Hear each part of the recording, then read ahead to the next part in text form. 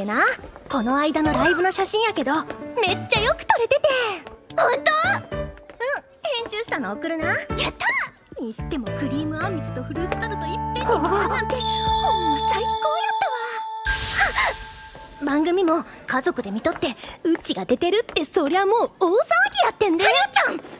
ちゃんん